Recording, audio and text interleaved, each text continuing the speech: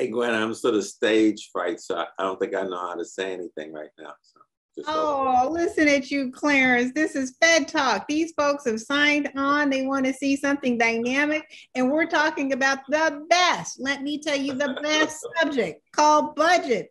And to me, that's all about money. So I don't know how much more exciting than we can or cannot get. So I need you to get on my website. Come on, let's go. Let's go. Let's zoom it. Let's do it.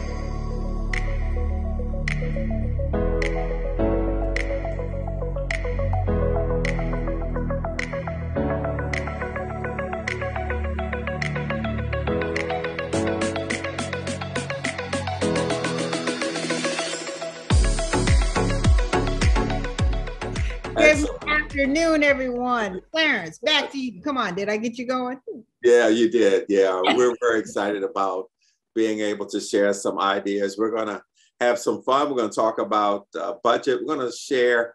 You know, you can get all the books. You can go read all the books about budget. It says, you know, the president does this and Congress does that, and then it comes back and the like. Okay, but that's not how it really gets done. So we're going to share with you some of the secrets about how do you actually use this process and get some things done and and better position yourself in your organization. We're going to do it with fun. We're going to interview each other. We're going to, we got a few slides, we got some videos, uh, but we also are counting on you to ask questions and to uh, push back and to have a real dialogue and have some fun as we talk about it. Um, so Gwen and I have known each other for a number of years. We were on the CFO Council together. Um, I was 15 when I encountered Clarence. Yeah, and I'm not sure which one of us got the other one in trouble, but we ended up setting it in in the old days in the CFO Council. Uh, they had uh, the room was divided into the good CFOs and the bad CFOs, and somehow I ended up in the bad CFO group. And, um, and so that's what we, Yeah, we had a lot of fun though. we knew our business. That that was that was the problem was we knew what we, we were supposed to do and we had fun doing it. So we're gonna we're gonna today we're gonna talk and we're gonna share the secret sauce. You know, just like when you get ready to cook a meal, uh, you can have all the ingredients on the counter, but if you don't know the, the right uh, order in which to, uh, to add the ingredients, you don't know um, the right proportions to use. If you got the proportions and you got the right ingredients, but you had the wrong uh, uh, oven temperature, or you had it in too long or too short, it still didn't turn out well. Well, you're going to get the secret sauce, the secret ingredients, and how to make this thing cook. So we're going to have some fun here. The first thing I wanted just to share with you is just a, um, a chart that we use just to level expectations.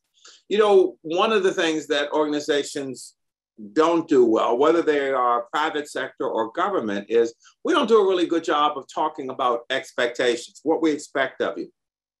Mm-hmm. When we hired you as a grade nine, what made you successful as a nine was that you were able to do basic things. If you were an accountant, you could put together a spreadsheet. It, you could the numbers add, it tick tied. Didn't require a lot of involvement with other people, and pretty straightforward. So most of what made you successful, ninety percent or so of what made you successful at the entry level, was being able to do whatever your role was technically as you progress in your career, that expectation of the organization changes. The higher you go, the more the organization expects this thing called leadership.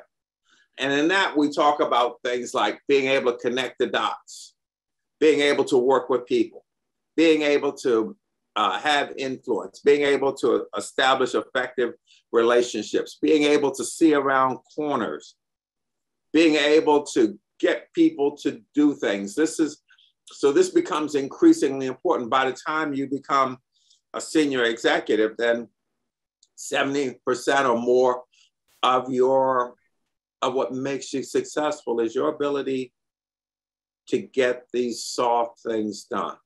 And rarely do senior people ever get in trouble over the technical. When they get in trouble, it's they get in trouble because they are unable to um, work these softer issues. So the code that I, I like to think of when we're hiring, I'm hiring a 13 or 14, 15 at SES. The question I think I have in mind is, does he get it? Does she get it? Does she understand that she's no longer a technician, but now is a leader? But, so, but what does that really look like, Clarence? I mean, come on, you you you and I both came up through the ranks. You know, we were all we, we started out as a GS2 and worked our way up. But by the time you get to that 13 technical, you are so proficient and you've gotten all of the accolades because you have been so technically proficient. But when you start to walk into that 14, that 15, into that SES, and you're dealing with other people's money, okay?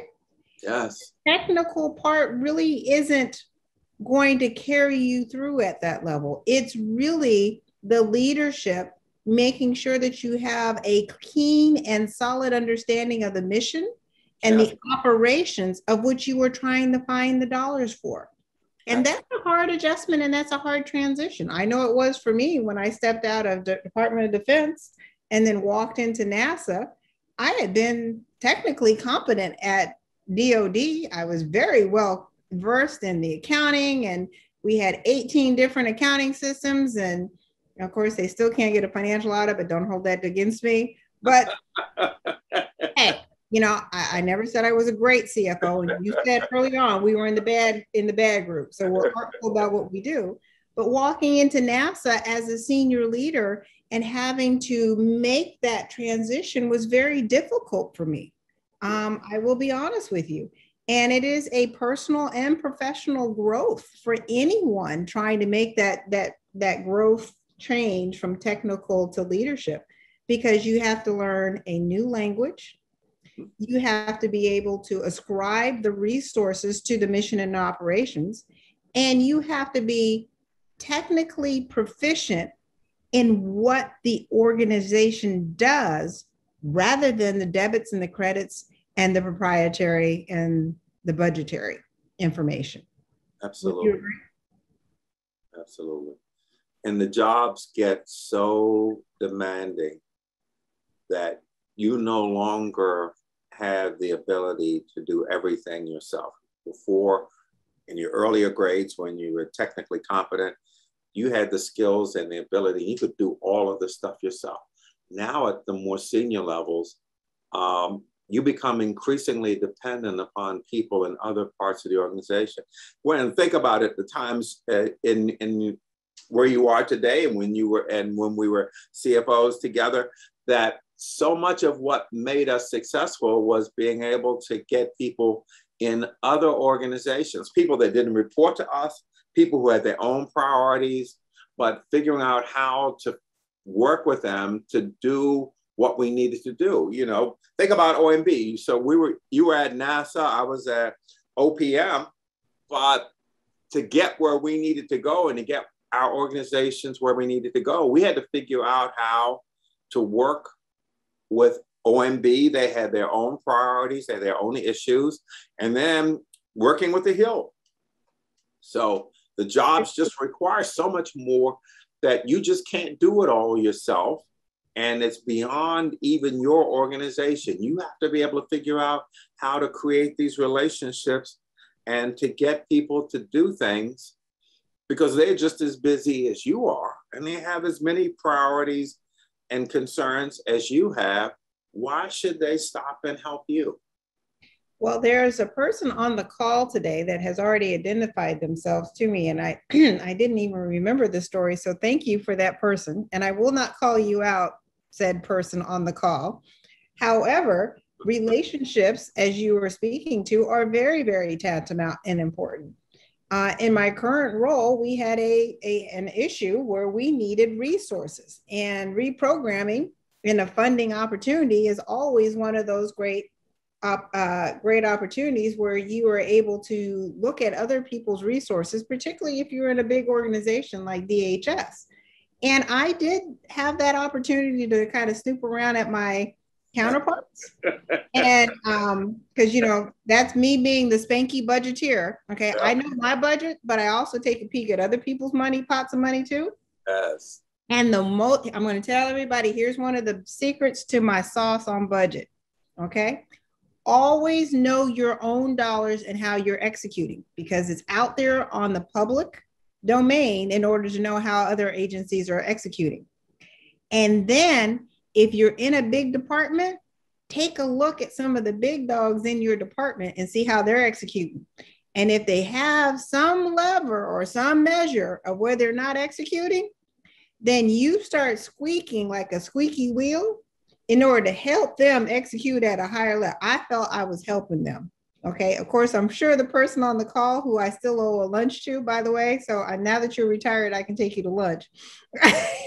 um, I was able to successfully, in the leadership role, make it a DHS issue an opportunity for the Secret Service to get some additional resources in order to mitigate an operational dilemma that we had at that point in time. And we partnered with one of the other uh, agencies within DHS.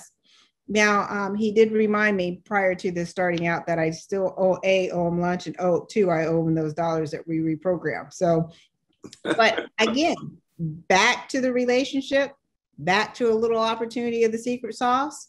Know your own budget, but also peek around your neighborhood to see who else may have some change hanging around. Absolutely. Absolutely. So they might be able to help you today. You might be in a position to help them tomorrow. Or take them to lunch or take them to lunch, or promise to take them to lunch, but never do. so a lesson learned is if someone says, I'm going to help you spend your money, and as a result, I'm going to take you to lunch. My advice is get right. them to take you to lunch 1st mm-hmm. That way you make sure. But no. So, but but again, as this role and understanding your role and understanding that at the higher levels, that this that the, the assignments are so big that it's too big for you to be able to do alone. And the the jobs are so demanding that it requires that you be able to work across organizational lines um, working with others at other parts of the department maybe omb the hill and sometimes stakeholders uh, outside stakeholders to to be able to get things done. And that's what's expected. So as you grow, one of the tests for you to do is from time to time, take a snapshot. How are you spending your time? If you're grade 15 and you're still spending 70, 80% of your time technical, then I think you're spending your time incorrectly. You're not meeting the expectations that the organization has for you in the, at that level. You want to go to the next slide, Gwen? Oh, why not? What do we got else to talk about? Okay. All righty. So we're going to talk about five keys and we're going to share some insights as we go. So be with us. So know your environment. Gwen, what does that mean?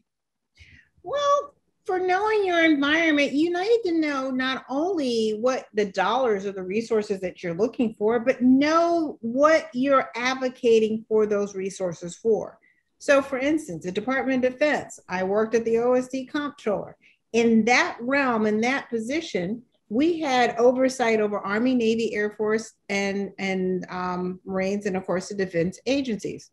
Okay, while I, that is a big, huge portfolio, as Clarence said, you don't have the ability to be technical in all of those, but you also have to be able to know the environment, the political environment, that is actually um, uh, being enforced upon that entity or that agency. And what are those nuances or what are the things that congress and the american public are advocating for when it comes to the department of defense?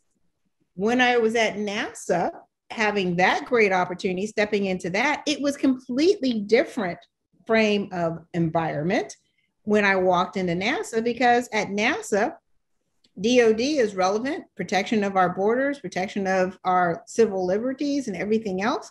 But at NASA, we're talking space exploration. So it's a completely different environment, scientific, um, engineers, scientists, astronauts, completely different type of environment. And the request from Congress and from the American public was completely different. At that point in time at NASA, we were having an educational crisis. So, recognizing that we had engineers and scientists, if there's an educational crisis, then there's going to be a pipeline of engineers, scientists, and astronauts that do not have the STEM type of education. So recognizing that, we cha- we changed and we actually made sure our budgetary resources were impactful to those things that the environment, aka the Congress and the American public, would get behind in order to fund in our quest for space exploration.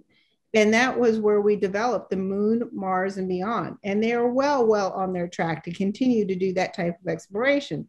And we're leaving what we call the lower Earth orbit exploration to the commercial sector. And we just saw that this week with Branson making his first initial flight into space. So basically, the environment at NASA was that we're going to go further beyond the moon and we're going to leave the exploration of the moon uh, around the earth or earth orbit to the private sector and that is coming to fulfillment and we developed that well over 10 years ago and it is coming to fulfillment now.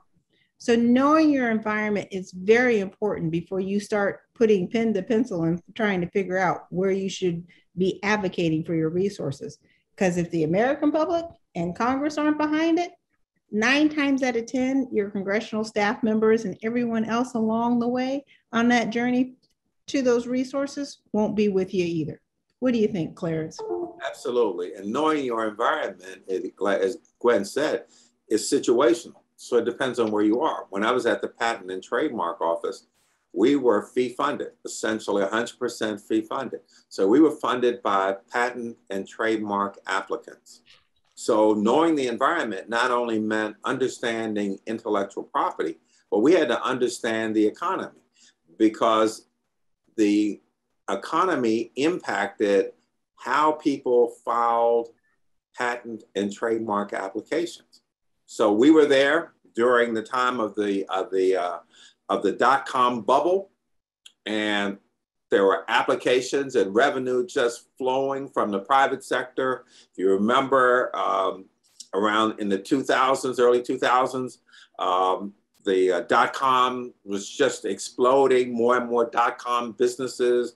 We were overwhelmed by applications, especially on the trademark side from, from new dot com businesses. We could barely keep up. The rate of growth was like 25 of 25% year over year growth in, in applications. And then the dot com bubble burst. And we went from 25% year over year growth to about 20% year over year decline. So being able to understand, so knowing your environment could also then, in our case, required us to understand the um, the, the dot com business to understand the economy because we had to we couldn't spend more money than we raised. So we had to be able to anticipate changes in the economy and how those changes would impact the filing patterns of tra- patent and trademark applicants because that's where our revenue was coming from.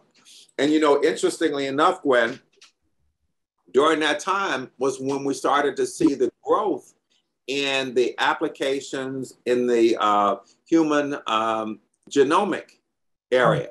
So a lot of what we saw over the last year or so with the vaccines was predicated on what was starting to happen 20 years ago when those first applications came in on gene sequencing and and and, and the like those applications at, at that time you had to submit them electronically and you had to submit paper. Some of those applications came in, in, in like 20 and 30 boxes of computer runs.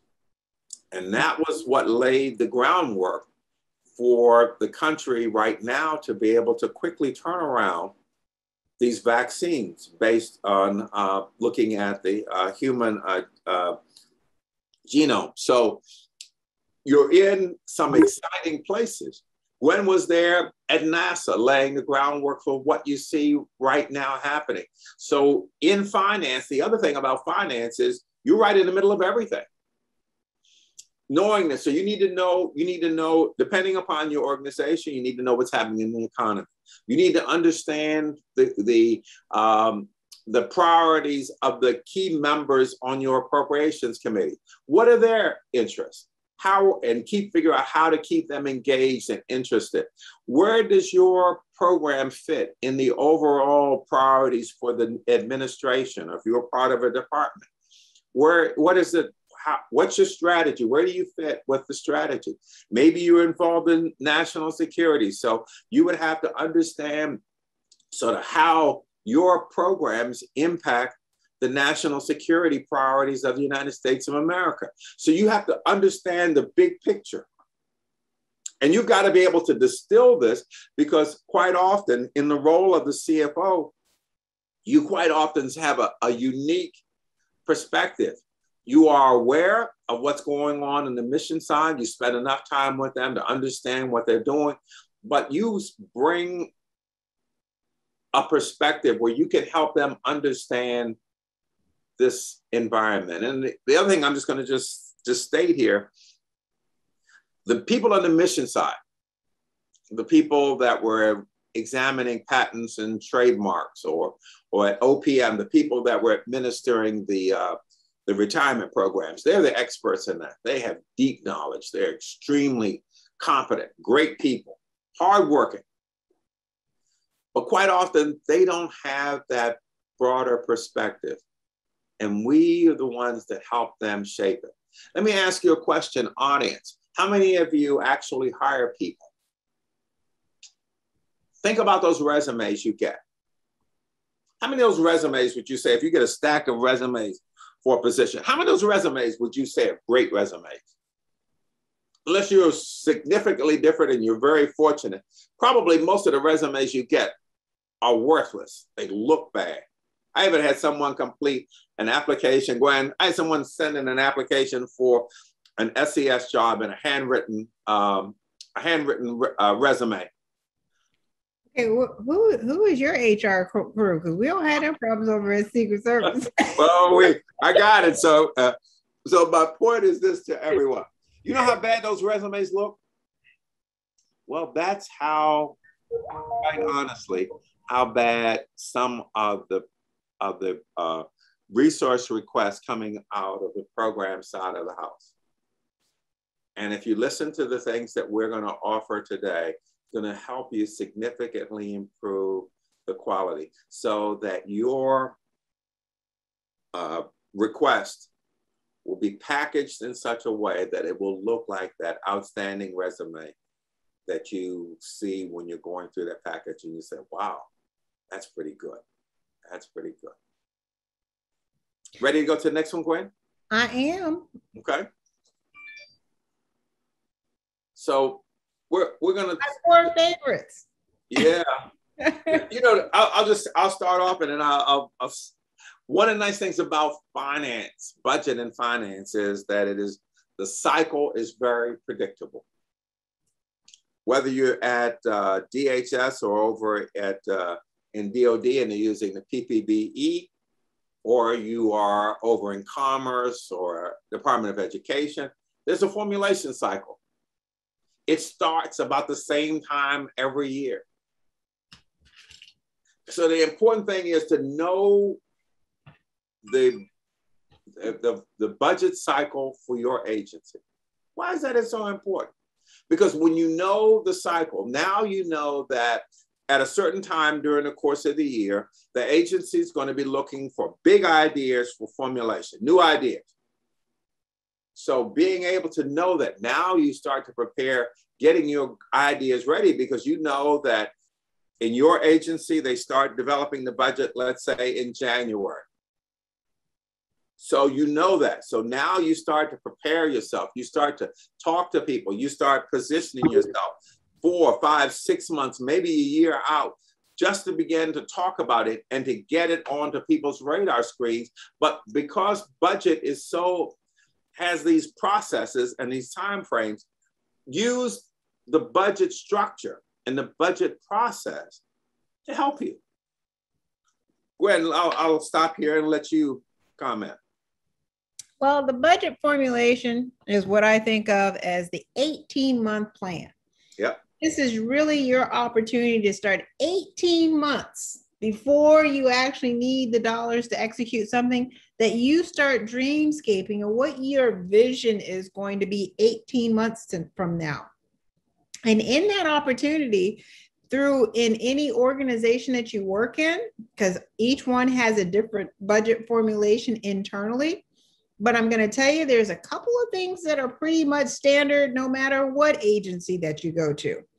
So internally, there's probably 18 months prior to you get to the actual fiscal year where you're going to have to execute those dollars of lots of internal conversations. So be the squeaky wheel. I have the best idea, and this is the, the amount of money that it takes. And I'm going to need this money starting on this fiscal year.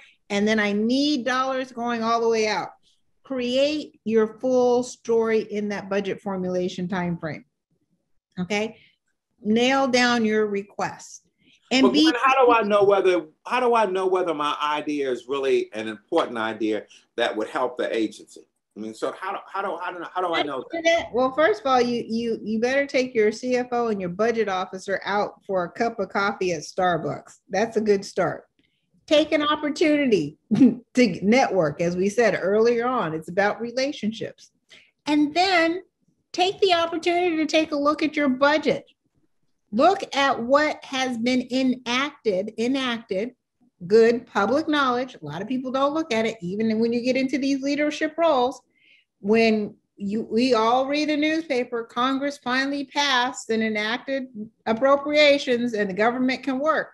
Everybody goes, whoo, my paycheck's going, and they stop reading. Okay.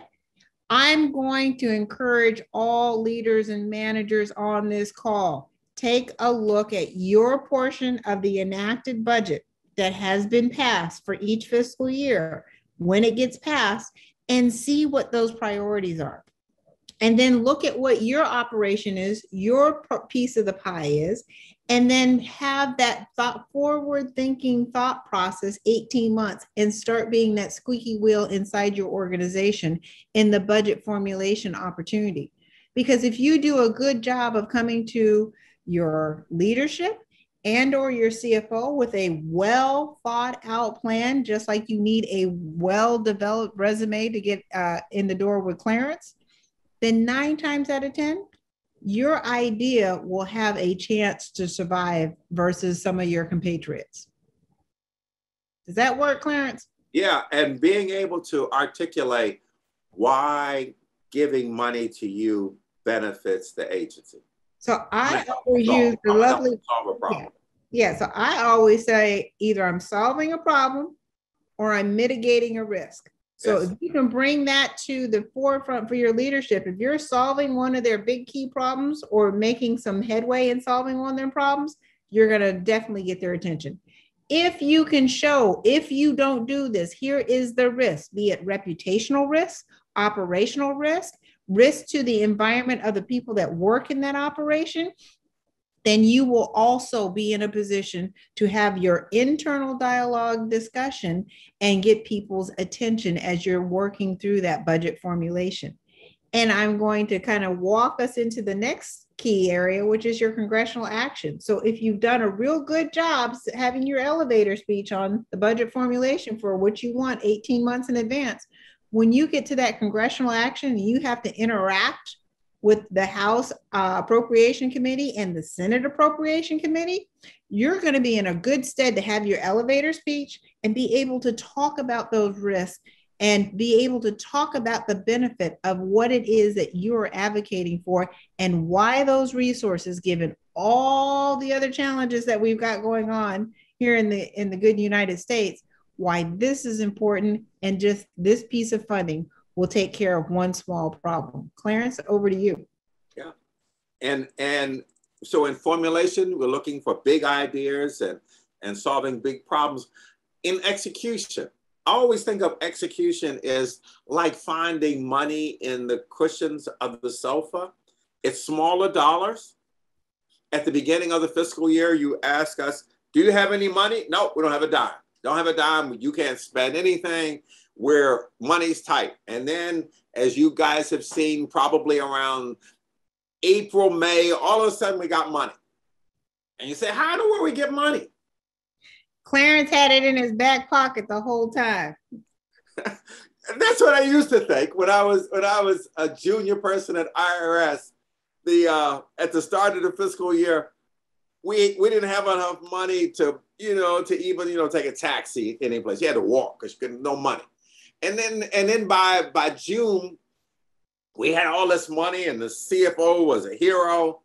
And they're like, well, part of what's happening is one of the consequences of, of CRs, it slows down spending. So if you were planning new hires and you're under a CR, so you don't you can't hire. You were hoping to start hiring first of November, but because of the CRs and the like, everything was frozen until January. It's hard to recover. Or you were planning on having a big contract awarded in February but because of other issues, and so the contract will be awarded in February, and you start paying on that contract for those services in March, the rest of the year. Well, what happens is the contract doesn't get awarded in February. The contract gets awarded in April or May. And again, you can't just make up that time. So what happens, the thing I would just suggest is, irrespective of what everybody tells you, always assume that money will be available by the third quarter. And again, it's like finding coins in the sofa. So you can't spend it on to hire people because then you have to not only pay for them this year, but you got to pay for them going forward. But you use that money for uh, uh, non-recurring things. Maybe you need to buy some equipment. Maybe you need to buy a service. But when do you start to think about this? Well, for most agencies, we're getting ready to start fiscal year 22 in a few months. Most agencies will start to put together a spending plan for fiscal year 22. They're probably working on it now. They'll have it ready before 22 starts. And here's the way it works. You've seen it. You are leading, you are a special agent in ICE and you're leading a group of special agents in Los Angeles, and you have 10 people, and you have a million dollars. That's what you had in 21. So they start off with 22 saying you have 10 people and a million dollars. And so you respond. Tell them what you would do with that.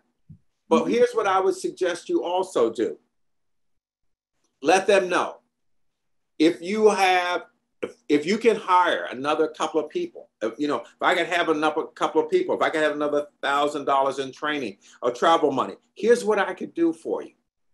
So again, starting to not just wait till try to get your requirements in in in in that uh, that third quarter, that April, May, uh, June timeframe. Start to raise it early. Here's what I could do. If you have two dollars more, here's what I could do with it, and tie it back to helping solve a problem, or as Gwen said, to avoid a potential risk, start that conversation early. Start it within your chain. So if you are in technology, you start that conversation in technology and you begin to work that up through the CIO shop to the people who are, are advising the CIO, or if you're in human capital, or if you are uh, leading uh, uh, enforcement removal operations at ICE you start that conversation early and you put it in terms of how giving you an additional dollar helps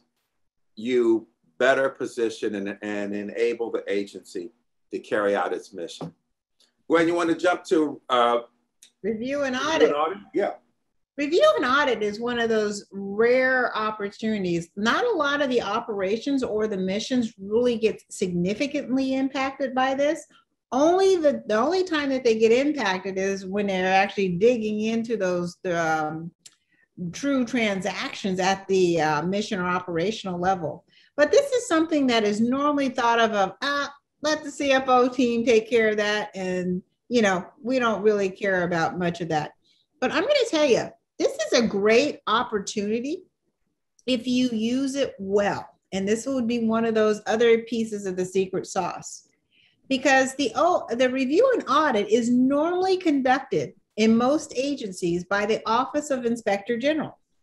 And we know that the Office of Inspector General and the General Accounting Office, GAO, get a lot of attention when it comes to the news as well as Congress. And so, if there are any interesting or unique or mission or operational opportunities that somehow need to be addressed and haven't gotten a platform or a forum, sometimes if you can make the unique connection, they can be brought up, excuse me, brought up in the audit or the review, and they can be put as comments or you can ask the auditor that says, hey, you know, we've been doing a lot of this international space travel, and the impact on the astronauts and their welfare, given the time that they're up there, most of the time, the astronauts have been going back and forth in a very short period of time and here's the cost and here's how we've been able to delineate that. And yes we've done a really good dra- job of tracking that but what we haven't done is figured out what the cost would be if we had them up there for a longer period of time and then what would be the ancillary cost associated with the care and upkeep of those astronauts health wise due to the impact of gravity on their bodies. So we were just having an interesting conversation with our auditors about that. Not that it has any rat thing to do with the financial statements, but because they were intrigued and I got them interested in it, it ended up being as part of some of their comments in the financial audit. Absolutely. And the next thing I know, Congress is wanting to speak to the director and everyone else about space travel and the impact on the human body. And, you know, it was just a little piece of the secret sauce of using something that was at my disposal to initiate a conversation. Absolutely. Just a thought. Right. We're going to jump to the next area relationships. Mm. And uh, we have a couple of slides we're going to use for this one. But this is a relationship business. The key decision makers and the people that support the key decision makers at your agency, at the department level, at OMB, and the appropriation staff are career people who are around for a long time. Mm-hmm. And the thing to think about is nobody gives anybody any money to anybody that they don't know. It's just that happen. Ain't gonna just give you money. So having that relationship and figuring out who are those critical people, how do you build those relationships? I want to go over a couple of slides and then we're going to talk about that. The first thing I just want to share with you is a tool that we've used. We call it a relationship chart. And you know, in your roles, you say, "I've got to, I've got to reach out to so and so, another party organization, and and you know it's sunday evening you got your list of things you're going to do for the week you know i'm going to talk to sean i'm going to talk to so and so these people are critical to what i need to get done need to keep a relationship with them. And then before you even get into the office on monday the whole thing is blown up. All of your plans have been destroyed you're running around like crazy and it's now six o'clock on friday evening and you haven't spoken to a soul. Well, one of the things that we started doing was just putting together, identifying who are those critical relationships. So, so if you are in the uh, NASA area where Gwen is, then and you're in in and let's say in the in the manned space uh, flight area, then part of those relationships might be people that are involved in that part of the business. Could be people in the human capital area. Maybe you have to do some special hiring um, at OPM. Maybe they are people at OMB. Maybe they're people on the Hill. Maybe they're people in industry. Who are the 10 to 15 critical people that you need to develop a relationship with that have will have influence over your ability to get your work done. So here, the chart down the left-hand column is the list of individuals. And then across the top are bye weeks. We found that just staying in touch with people every couple of weeks and don't count just formal meetings, but these would be times where maybe you just stop in and just say, hey, what's going on? Can I, you know, how are things going? I'm going to show you a video, then we're going to stop and, and talk about it.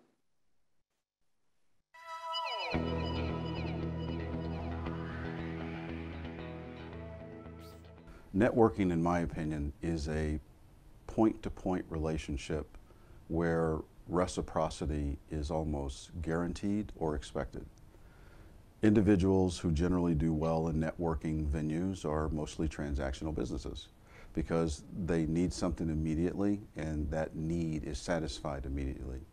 Net weaving is a different concept because it really focuses on longer life cycle that's centered on relationship building as opposed to immediate gratification or reciprocity. The net weaving concept is designed for really service based, long cycle businesses where the cultivation of relationships are the most important thing. A net weaver has the understanding that they really are looking at their clients' needs first. And in creating a service wall of individuals who provide services outside of their core competence, and they want to become more of a resource to their client.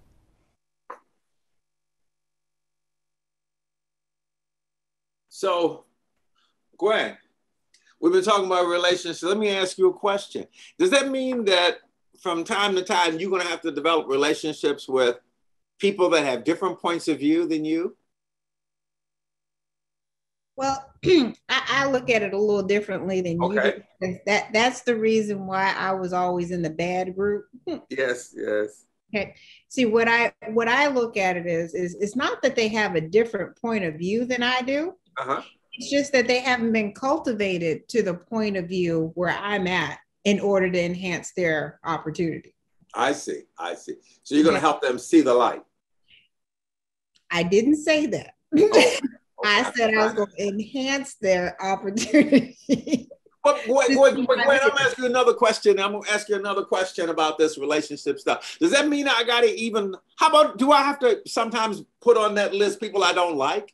I mean, I'm just just asking. So, honey, you know, on, huh? on the top five are definitely the people that that you don't like and that you know don't like you. Yes. So I gotta I gotta sometimes I'm gonna have to have a I'm gonna have to figure out how to develop a relationship with people I don't like and people that don't like me. Exactly, because therein lies an opportunity for them to overcome the challenge that they personally have in the moment and the reason why they don't like you because they don't know how wonderful you are. Because I think, me personally, I am just absolutely a charming person. And I'm very much likable if you just meet me on my terms. And do what you say. I did not say that. You uh, said that. but honestly, I mean, I know we're joking around, but truly, when it comes to net weaving, even the most challenging individuals, even the most um, people that you just, you know, you just, ugh, when you walk into the room. If you take the time to engage and do some net weaving, find out what it is that makes them tick. And sometimes it breaks down those walls because you never know in the midst of a tragedy, in the midst of an opportunity, that person may be the key for you getting those resources or that opportunity to broach a conversation about those resources in order to make something happen. And I have found through adversity and through challenging individuals that they have become because of the mutual understanding that we have worked together on my biggest and my best allies. So, net weaving, relationship building is something at the leadership management level that I cannot stress enough, particularly when you're going after other people's money. So, you've got to figure out how to make these relationships work to benefit your organization. And, I, and Gwen is absolutely correct. Quite often, it's right there in the middle of an adversity. I was in a staff meeting one time, and one of my colleagues was being um, challenged by the head of the agency over an issue, and I just stopped the head of the agency and said, it, "It's not his fault. It's mine. You know, we screwed it up. It just happened to fall apart on his watch."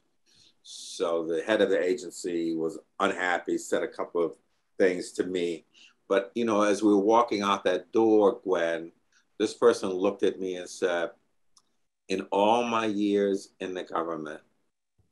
Nobody has ever done it for me before. Mm-hmm. Accountability in a relationship is key. And owning your stuff yes. is very, very important.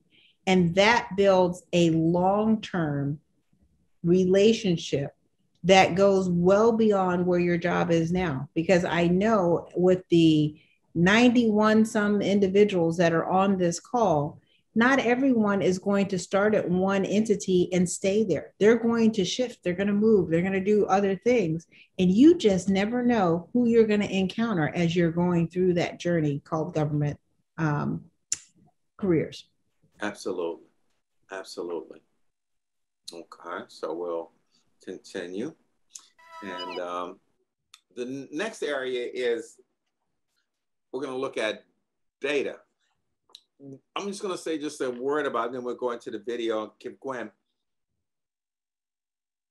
If, if you talk to the average federal employee and you say, do you have a role in the budget? They say, no, I ain't got no role in the budget. You know, I run, I run uh, payroll, I run uh, hiring, I'm, you know, I'm the uh, architect, the, uh, the uh, systems architect, you know, I'm a special agent leading this group or whatever. The reality is, it is the result of your work is the basis for your agency getting money. Because what you have to demonstrate is your agency. Go listen to the appropriation hearings for your agency. When it's going well, they're talking about how well the organization is doing. How well are we treating um, veterans uh, at the VA hospitals? All of those kind of things. So it comes down to results. And we're going to talk here, and I'm going to run this video for you to just take a look at moving your data and your results to a new level, not just having spreadsheets with tabular data. Look at this. Welcome to the Agencia Business Travel Academy. What is data visualization? Data is a hot topic. People buy and wear a t-shirt saying data nerd or data is the new bacon. True story. You can check it out online. With the digitalization era, data went from scarce, expensive, difficult to find and collect to abundant and cheap, very difficult to process and understand. That's when the concept of big data emerged. Incredible amounts of information, so vast that they were challenging to capture, store, understand, and analyze with traditional software. However, all of this material is only as good as what we can make out of it, as individuals and businesses. Terabytes of data sitting in a data center unused is a burden. If correctly processed, it can become digital gold. Big data is often combined with machine learning to create predictive analytics or other analytics processes that bring the value of the information to light. Still, if you do not own a PhD in data science, the raw details can remain obscure. That's where data visualization comes into play. Data visualization is the process of taking raw data, transforming it into graphs, charts, images, and even videos that explain the numbers and allow us to gain insights from it. It changes the way we make sense of the information to create value out of it discover new patterns, and spot trends. Think about a simple example. How do you create a story to tell your boss out of thousands of rows of data in an Excel spreadsheet? An easy way is to create a chart, like a pie or a bar chart, of that same data.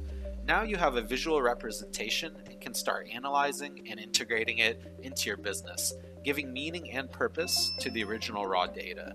In the business travel industry, data visualization truly empowers travel managers and reporting users by providing clear and actionable insights into their programs. A data driven program brings value to all stakeholders, from the finance controller to the security manager and the HR manager to travelers themselves. It allows for better control and prediction of travel spend and increases traveler security and satisfaction. Imagine if you could get a visual representation of your past, current, and future travel spend to show to your CFO, or if you could visualize the impacts of each change you make to your travel policies or negotiated rates. What about if you could see where your travelers are frequently disrupted and what would be better alternatives? The possibilities are endless, and data visualization can keep you ahead.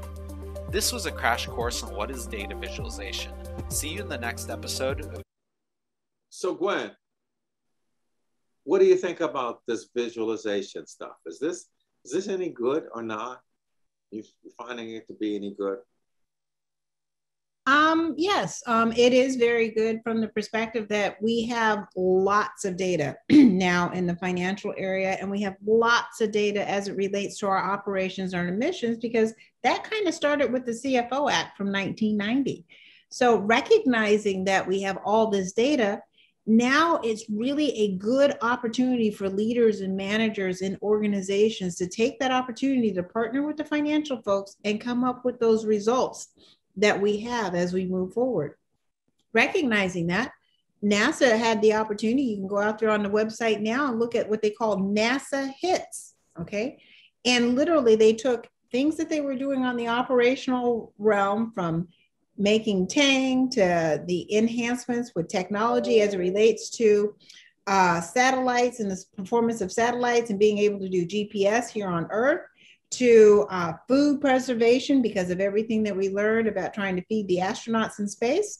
And using all those things and came up with said here's the dollars that we invested in all these things in order to do the mission and the operations of nasa and here's all the hits and the benefits the attributes that have just been spread throughout the United States and the technology transfer that has happened that we're able to share.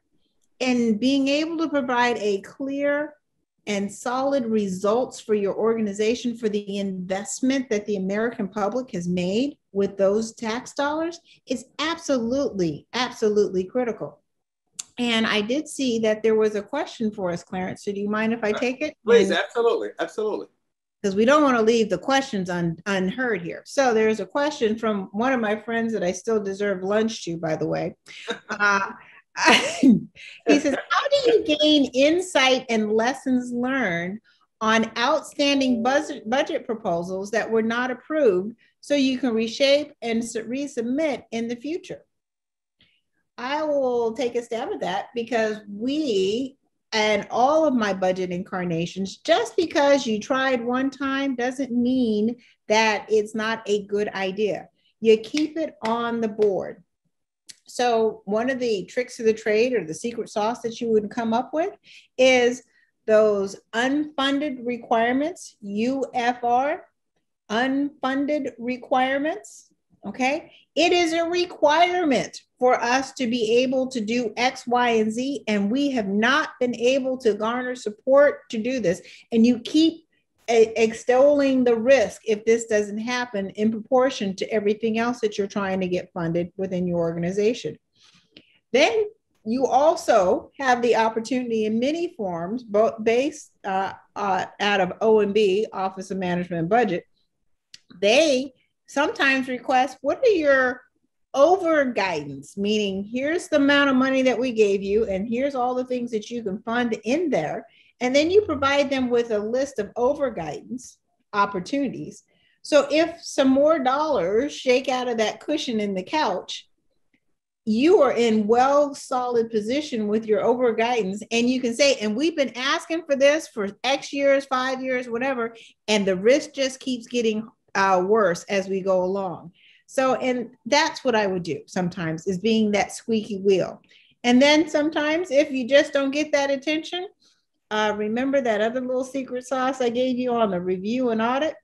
That would be another opportunity where you might want to contemplate a strategy to put there. So, you know, in my little toolkit, my little bit, in my little um, bad CFO bag, I uh, I have all sorts of opportunities to get a form because truly it's about networking, communication, and getting your request and or your requirement on the table so it can have a, a good, clean discussion. Does that work, Clarence? Absolutely, absolutely. So, and I would just say that if you haven't started to use some of these business analytic tools to help explain and show the relationships and the like, you need to.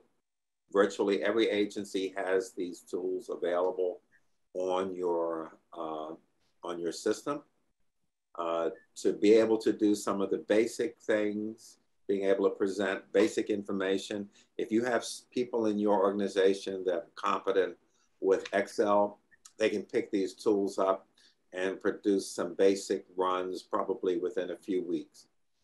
And Clarence, I think somebody out here, I'm going, I, I really do need, we're going to have to take him to lunch. I'm going to let you go with us and you can pay for lunch because this is the lunch that I still owe the individual, but he's doing you a solid. He says data, a lot of data, but need to continuously validate the purpose, need, and use if gaps address, e.g., outcomes and benefits. Data without a story is just numbers. So I think he'd have read your charts because that's where you're yes. headed next. That's where we're headed next. so we're going to talk, look here at stories. So look at this as sort of how does the story tie into this? Take a look at this video. Everyone loves a good story, whether it's a tear jerking movie, drama unfolding in a soap opera, or a riveting page turner. We humans become completely captivated by good stories. For most of human history, information has been shared in the form of stories. Our brains are programmed more for stories than they are for abstract ideas or facts. A good story helps people interpret the facts and see a bigger picture. And if you're the one telling the story, you can influence the way your audience interpret facts. This means storytelling offers distinct advantages over other types of communication. Firstly, stories can reach all types of people and employees, regardless of age or educational background. In addition, stories help people remember facts. So much so, cognitive psychologist Jerome Bruner claims that a fact wrapped in a story is 22 times more memorable than the fact told in isolation. Finally, stories can reach all types of learners. Neil Fleming's VARK model suggests there are three key types of learners visual learners, auditory learners, and kinetic learners. Stories get through to all three types. The emotion and feelings of stories connect with kinetic learners, a story's imagery influences visual learners, and the vocabulary appeals to auditory learners. So with stories, the, the thing that, that I would just say to kick it off is the more senior the people, the more they love the stories. Once they're comfortable with your numbers, they're comfortable with your accomplishments, the stories are what bring, as the, as the uh, uh, person that Gwen read uh, had mentioned, the stories are what bring the numbers and everything to life. And so if you get an opportunity to brief your agency head, you get a chance to talk to senior people at OMB or on the Hill, they love stories. Now, for those of us that have children and young had young children, uh, you know, you had to tell your child, you know, Goldilocks uh, every evening. And now, you know, that's nice. Kids, would you could tell them the same story every time you saw them for a month, and they would just be excited about it. Well, with these folks here, they don't want to hear the same story every time. When they see you, they want, tell me a new story. And that's where you come in because in many instances, you are the subject matter experts. So we've got the data and we got the arguments to why we should do this or that. But then Gwen or myself would turn to you and you would say, I run human flight exploration for NASA, and let me tell you why. I run um, the uh, ICE uh, uh, enforcement uh, um, activity. Let me tell you what I see. That is so, so very powerful. They'll remember that. They'll repeat that story to each other over and over again. Gwen. And not only do they like stories, they like funny stories. Okay. Yes. It doesn't actually have to be a story that relates to um, the operation and or the mission, but it could be a unique find or unique circumstance. I mean, even from myself with regards to the financial audit, and we needed additional dollars in order to implement what we call internal controls.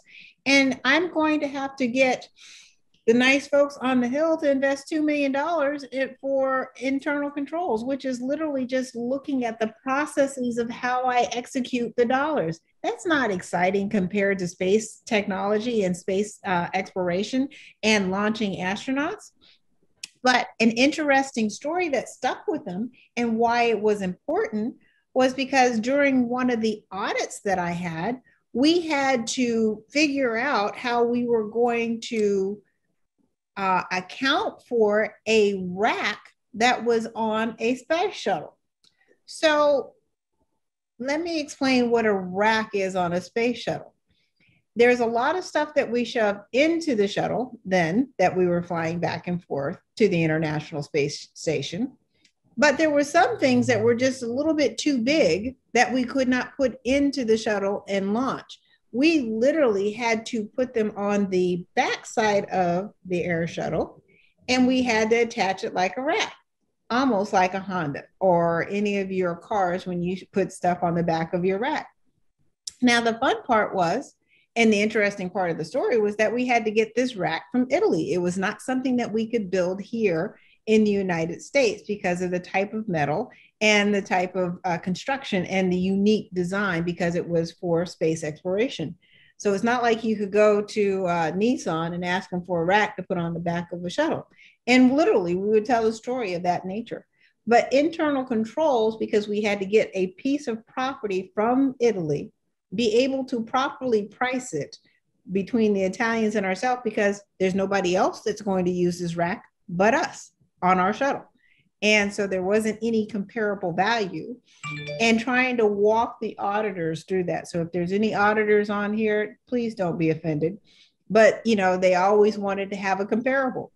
And so we were able to kind of tell the story and then being able to show a picture of the actual rack.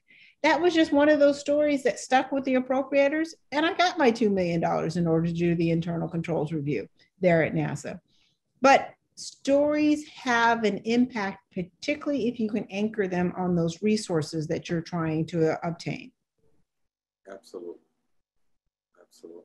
And then, of course, if it's new, sexy, and something they never see and, and have an opportunity to share the story someplace else. So keep the story simple too. Yeah. So I think at this point, we're open now for additional questions and answers here to the first slide. And uh, we're happy to take any questions and answers. You can put them in the chat or you can, I guess they can, you can unmute and ask if you would like. Hi, Gwen and um, Clarence. I This is V Trong from um, Custom and Border Protection. Um, I, I personally um, have worked on audit, internal control, financial reporting, and I'm new to the budgetary realm. Um, I just started a position um, in February, just learning the budget world. I, I think you you you've been in the CFO office, so you know that budgeting is quite different than uh, the financial accounting aspect. Um, so I'm, I'm, I'm learning uh, the process and trying to understand it. Um, but you, you talk about uh, building relationships um, as you move further into your career 14 15 level um, what i see from an operational side of budget is that um, because cbp is such a large agency within the department of homeland we are given sort of buckets of, of funding for different purposes. Within Custom and Border Protection, we we have obviously the the border to uh, to protect, but then all of the trade transactions, all of the things that come into the United States have to go through CBP as well. So, you know, most people don't know that CBP is the second um, uh, the second col- uh, second collection agency behind the IRS. Um, so we there's a lot of transaction going on, but from a from a budgetary perspective, I guess you know I was inspired by you um, talking about how you look at other people's budget and try to find areas to um, the, the word exploit is a little strong but but to I be partner. able to i partner to partner yes to, to partner and find ways to utilize the funding i feel um, at, least from what i i hear at the year at year end some sometimes some um, department or organization within uh, cbp um, are very protective of their funding during the year, but then at the three day or the five day before the book close, that's when they realize, oh, I cannot use the remaining money. And so I'm going to find a way to dump it somewhere so I don't look bad that I didn't obligate my funding. And obviously, this is a poor behavior, right? Because we're, we're, we're not planning appropriately to execute. Um, but I, I feel like with CRs, multiple CRs in a year, it makes it so difficult for an organization to plan ahead with procurement. Um, and you know the, the, the procurement process is is lengthy. And so how do what do you see or suggest Congress to improve the budgetary process in that so that we don't waste money more towards the end of the year how can we execute better in a cr environment um, i guess from um, from the faa perspective I, I, I think i saw that when when we go into a shutdown their their their employees are, are not going to be uh, okay. furlough any anymore so that is one good thing that i've seen this this past year via the news, but um, in terms of other agency, I haven't seen anything more to that. But what what do you see as as a, a change that would make budgetary process more efficient given the CR situation that we're in? Well, first, I would say get us out of the CR situation. Um, Congress does that intentionally, honestly, in order to reduce the amount of dollars that are out there, uh, in order to manage the top line of the overall government's budget and deficit. Okay, so that's a strategy that Congress is using in order to pull on levers, in order to keep the federal monolith called the federal spending in somewhat check. So that's what they're doing there. So CRs are impactful in the fact that, as you did say, it requires some nimbleness by on the on the part of the agencies, particularly you at CBP, and trying to hire and meet your mission, etc.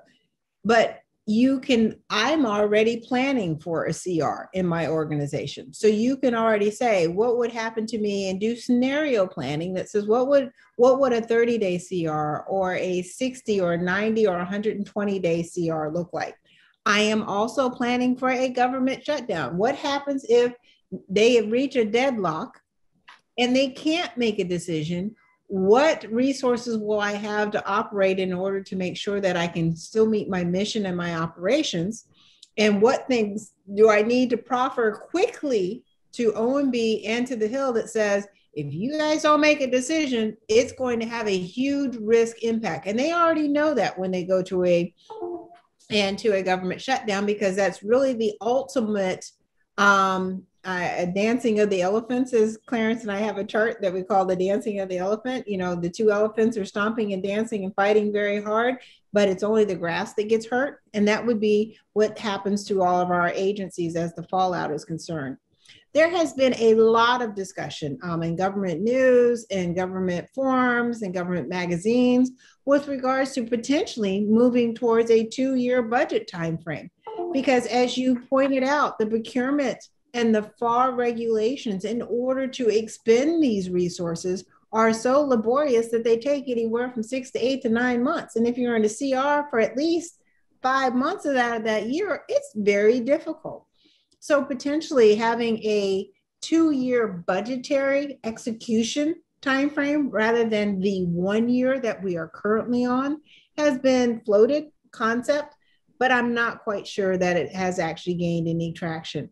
But definitely, I understand the challenges that we encounter both on the execution side and definitely on the budgetary side. But um, the only thing I can tell you is plan like you're going to have a CR, plan like you're going to have a government shutdown. Because if you fail to plan, you plan to fail. Okay. Clarence? And I would agree. And I just think that being very pragmatic, CRs are a way of life. I don't see any any significant movement that's going to change that. So figuring out, and that's part of the challenge of being a, a financial professional is helping your agency figure out how to still get things done when you have CRs, when you have government shutdowns, when major initiatives are being, multi-year initiatives are being funded one year at a time. How do you then help the organization figure out a way to go forward? And that's that's what that's part of what your responsibility as as uh, the financial professional is help them figure it out. Be great if Congress would behave differently. I don't see it, and um, so that I you pointed out a very challenging situation, but I don't see I don't see any any legislative relief anytime soon. So it's up to us then to try to help the organization figure out how to overcome these challenges.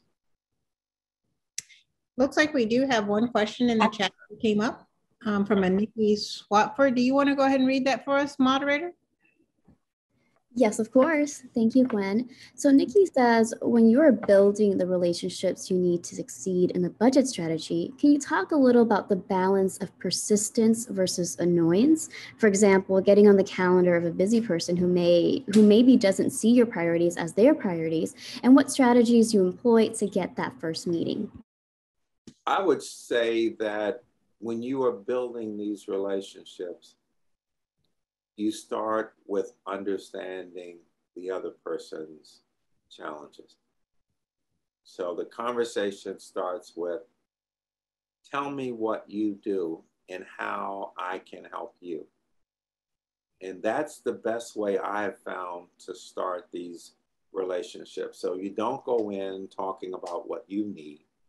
You go in to better understand what they do and then figure out how you are in a position to help them.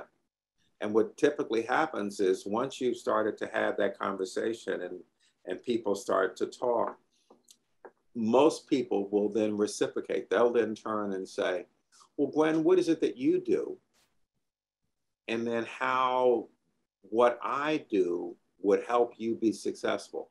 So you start the conversation with understanding what they do understanding the challenges that they face and figuring out how you can perhaps help them get their jobs done first. And and that's and, and that's how you start the conversation. And then let it flow then to what your needs are. Again these are long-term relationships. This is not something you're just doing for for a month or so. This is a relationship that a lot of these relationships that Gwen has that I've had have are in some cases are decades old. So these are relationships of people that are going to be around for a long time. Um, you may see them again, even if, if you were at if you are uh, over at Treasury today, in five years from now, who knows? Uh, both of you may be at NASA. So these are long-term relationships. Start it that way be of assistance to them. and then have them then and let them then figure out how they can help you. Gwen. And also, I would like to change your thought process too, because you use two terms, which I find interesting. I like one word, but I'm not familiar with the other one persistence versus annoyance. Okay.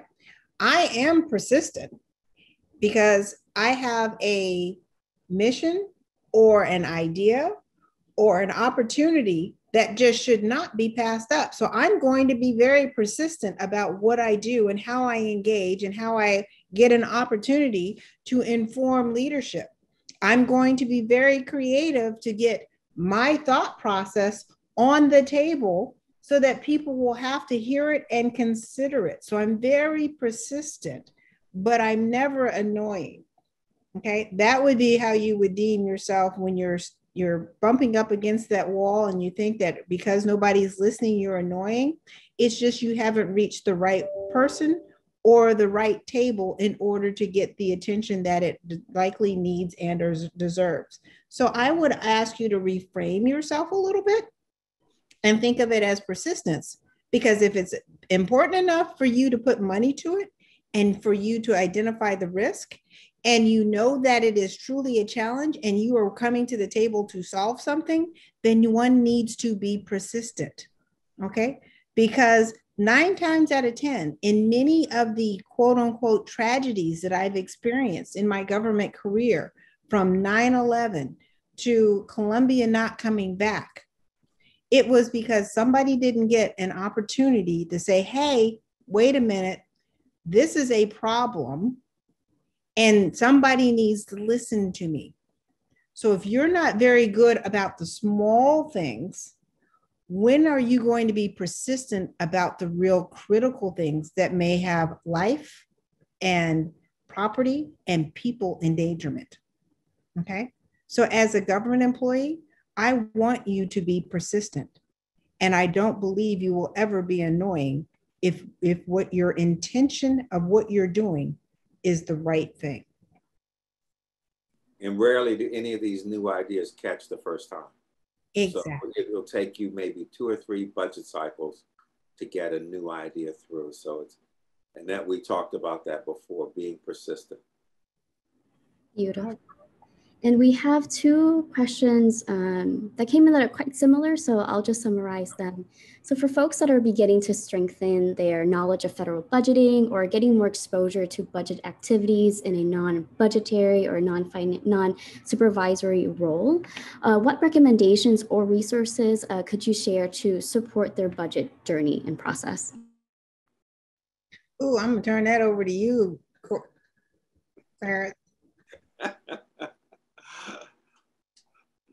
I think to me, it's it's one.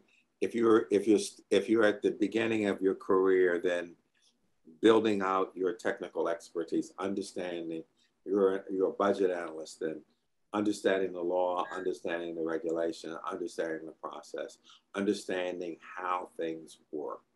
That is absolutely critical because you've got to be able to demonstrate in your early days in your career that you have mastered that, whether you're a budget person or whether you're in financial management, you have to be able to demonstrate that basic confidence. As you begin to grow, though, is where it's incumbent upon you to broaden your scope to begin to take into not just the technical aspects of the job. I think sometimes we have people that I've talked to who said, I've come into the job, I'm technically confident, I've got certifications, but people are coming in and getting promoted over me. Sometimes it's because we have mistakenly believed that the things that made us successful at a nine are going to be the same kind of things that are going to make us successful as a 13 or 14. So as the role changes, you pick up these other responsibilities. And the way I would look at it is as you grow in your role, you have to become bilingual. If you're a budget analyst, you have to understand the budget. But now, as you're a 13 or 14, you need to now become bilingual because now you need to be able to speak as intelligently about those factors in that leadership area as you did about the technical budget. And you have to be able to understand those areas just as well as you understood budget and continue to grow and expand and think about your career. So you have to continue to push yourself. You will push yourself into areas where you feel uncomfortable, where you there's some discomfort and and the like, but that's for everybody. Nobody comes into this 100%. So there's a level of discomfort that each of us experiences as we continue to grow.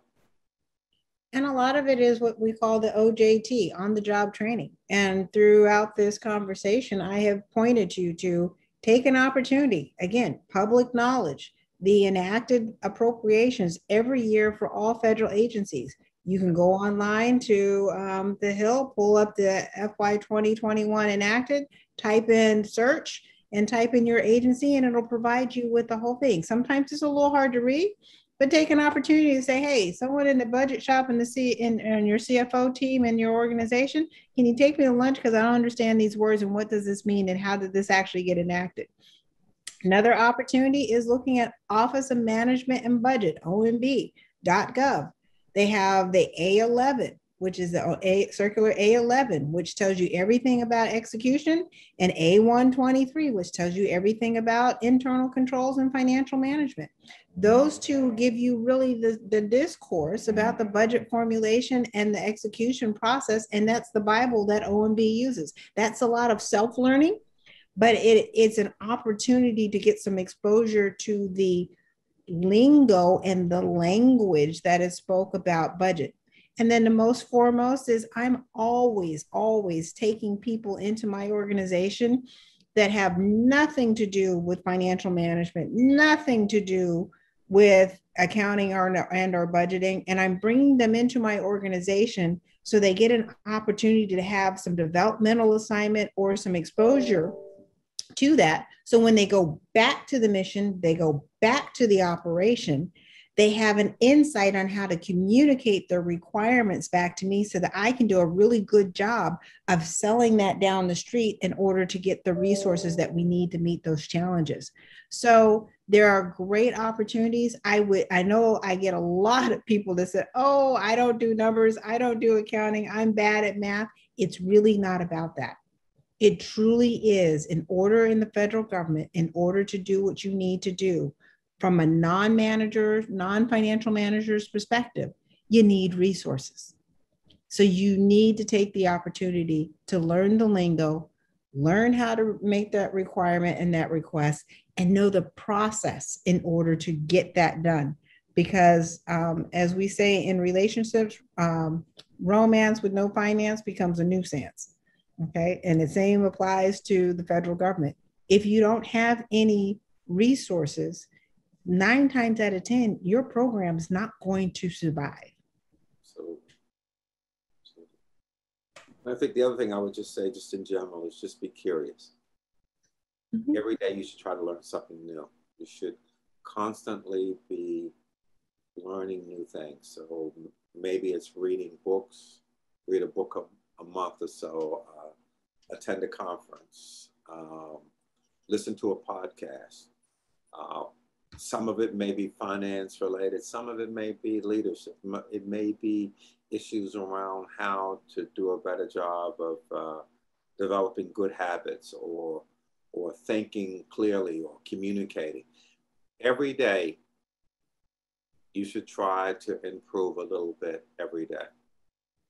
So it's being curious, looking, listening, thinking, being engaged will make a tremendous difference. It makes a difference over will make a difference over a lifetime when you look back. The people who've been curious, I, I suspect if I had known Gwen in the early days, I would have seen a young lady who was curious, asking questions, looking, wondering.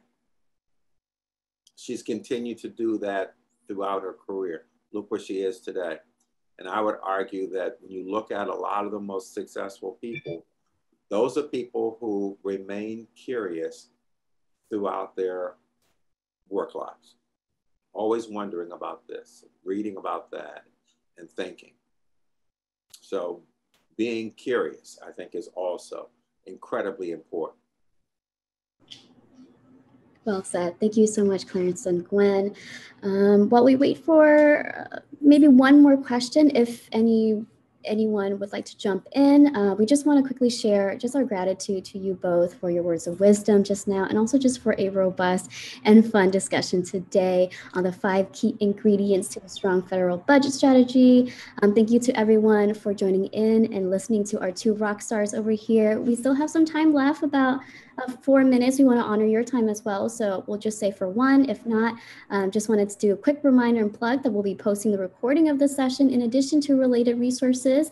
Gwen, uh, Clarence, if you have any for us, uh, I'll be happy to share that with folks on our website at keat.american.edu.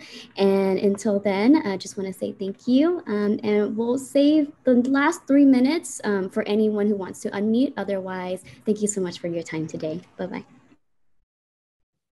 All right, thank you. Hey, we did it, Clarence. See? Yeah. Thank you, thank you, thank you, Gwen. It's always a pleasure working with you. and and now I have to go back to my favorite sport, picking other people's pocket at the end of the year. yeah, yeah, You've gotten good at that. it is a skill. Uh, it is it is a persistent skill that I have yes. taken the opportunity to finesse. How's that? Absolutely. well, I enjoyed your time, my time with you, my dear, and as always, looking forward to more opportunities. Yeah. Okay. Thank you very much, everyone, for dialing in. We yes. Please stay safe out there. Okay.